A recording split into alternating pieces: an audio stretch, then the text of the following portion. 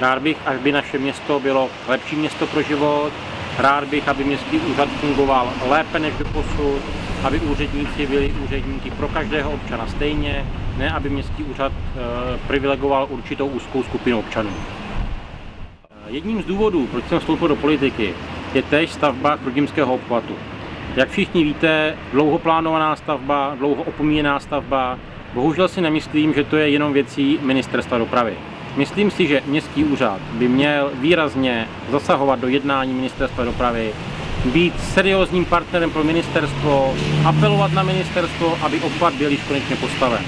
Jak jistě víte, v nedávné době zde byl pan minister dopravy Bárta, který řekl ano stavbě obchvatu v etapě od Medlešic po Kaufland, respektive silnici 1.17 na Vysoké míto.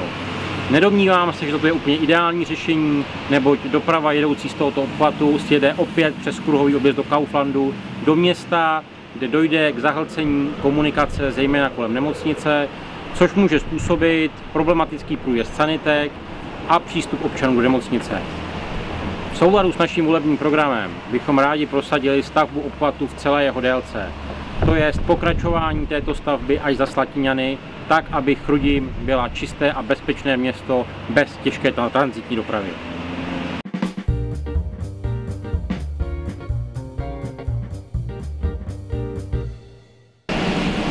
Po vaší informaci jsem si přečetl diskuzi, vím, co tam někteří píšou, je mi to líto za mě i za občany.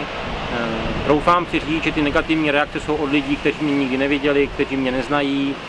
Nicméně nerad bych zde uváděl nějaké konkrétní údaje. Naopak bych raději, aby občané přišli na naše mítingy, aby se sami přesvědčili, jestli se se mnou dá hovořit, jestli umím dát dohromady větu. Tímto bych rád pozval na první meeting, který se koná v neděli 3. října od 18 hodin v Chrudimi na rozhledně. Další meetingy budou uveřejněny na našich stránkách www.vědciverejné.chrudim.cz